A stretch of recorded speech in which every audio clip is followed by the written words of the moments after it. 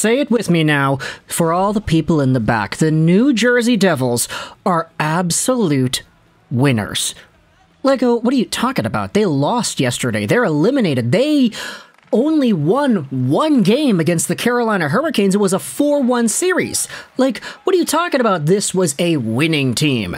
And, okay, Sure, from an on ice perspective of results, the New Jersey Devils literally lost. But when it comes to how these guys performed this season and what we learned, there was so much good out of the 22 23 Devils that I just had to go out there and make this video. Now, of course, we'd be kind of remiss if we didn't actually talk about the game. Yesterday, the Devils lost in overtime. It was a close game. Like, kind of funny that it was a close game because all the other games in the series had not been close at all. They were all blowouts. So, kind of interesting to see the dynamic shift, especially at the very end of the series. But this was a game where the New Jersey Devils had their opportunities, and you had Akira Schmid making the saves he needed to make. It's just the Devils had some trouble burying it. They couldn't get by the Hurricanes defense and the goaltender. So ultimately, at the end of the day, it's a long shot from Kotkaniemi, tipped in front by Jesper Fast, that goes right by. That's the 3 2 overtime winner, and that's the series. 4 1 is the final score out of Carolina versus New Jersey. But ultimately, even though this was a losing effort, even though the Devils sort of lost in a way that you could say, all right, they had three games where they played so poorly, and you don't want to see the games go the way that they did in those three games, you could definitely, 100% no holds barred, go out there and say, from a perspective of team accomplishments and what you saw out of the players on this squad, this year was more than a win. If you had told Devils fans last season, at the end of last year, where the Devils finished, where did they finish? Let's search this up. NHL standings last year. Can we do that? Is that a thing? Here we go 2021 2022. So, last year, the New Jersey Devils had 63 points in 82 games played. If you go into the NHL, they were fifth last. And that's not a good record at all. If you told Devils fans last year, hey, calm down, guys. You don't need to worry. You're going to sign some guys in the offseason. You're going to make some acquisitions. Ondrej Palat's going over to your team. Dougie Hamilton is going to improve like crazy. You've got Erik Haula coming over here too. Not to mention the upward growth of a lot of your younger guys. And you're going to, for the most part, fix your goaltending situation. If you told Devils fans all of this a year ago, they would have been like, okay, great. But where does that land us in the season? And if you said it lands you as one of the top teams in the Metropolitan Division, and it allows you to make the second round, where you inevitably lose to the Hurricanes, but you still make it there in the first place, I'm pretty sure Devils fans from last year would have been over the moon, saying, hey, wait a minute, we are fifth last in the NHL this season. We go from that to a second round exit? That's crazy, dude.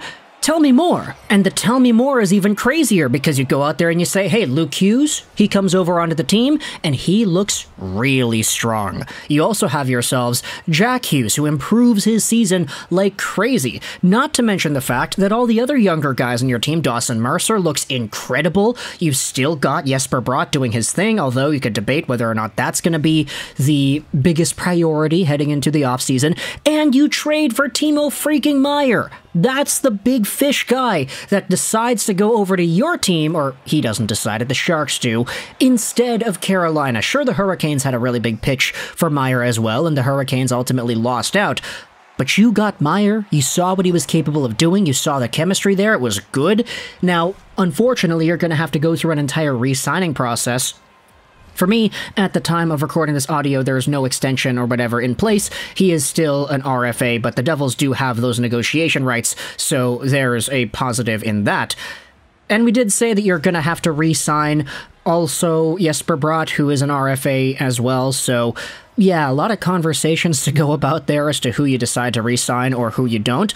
But at the end of the day, it's a good problem to have because you've got good players. You have guys that are more than capable of contributing and playing alongside of the vision that Lindy Ruff and all the other Devils staff have for this team. And before we continue, I guess we could say this as well. If you want to make, or if you want me to make, excuse me, another video just kind of going over Bratt and Timo That is a conversation I feel like is more than appropriate to have, especially considering the context, the circumstances of how the Devils have performed, and what these two were able to showcase in their stints towards the end of the year. Obviously, Meier does not have the longevity within the Devils organization that Bratt has, but that's another conversation topic for another day.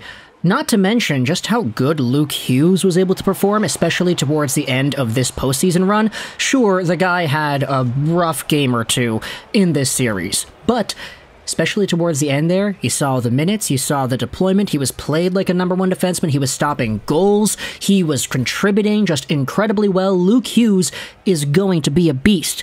And you saw all of this and more out of the Devils towards the end of 22 23. For a team that was not really supposed to be this good right away, I think that's pretty alright.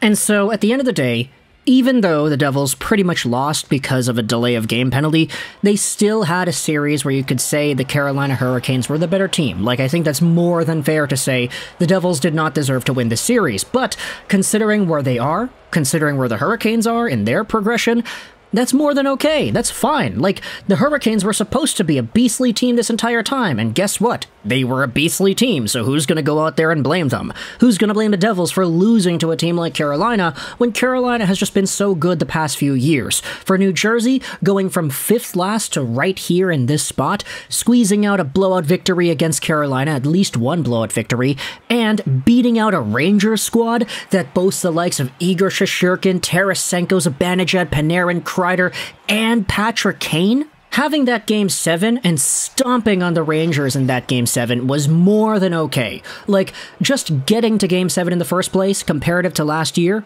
good enough.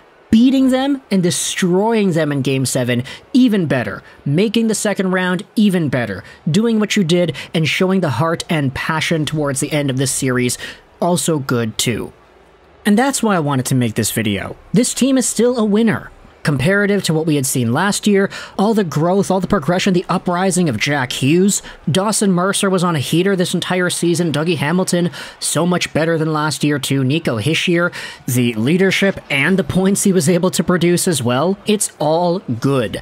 I mean, Jack Hughes had 99 points in 78 games. If he plays those final four games of the season, he doesn't miss out on them, he gets 100. No questions asked.